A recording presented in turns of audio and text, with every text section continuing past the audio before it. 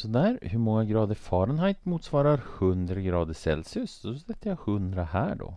Och så löser jag ut vad f är.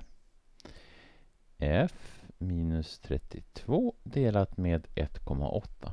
Jag börjar med att multiplicera med 1,8 på båda sidor. För då får jag 180 är eh, lika med f minus 32. Sedan så adderar jag 32 på båda sidor. Och då får jag 212 är lika med F. Så svar här. Ehm, det motsvarar då 212 grader Fahrenheit.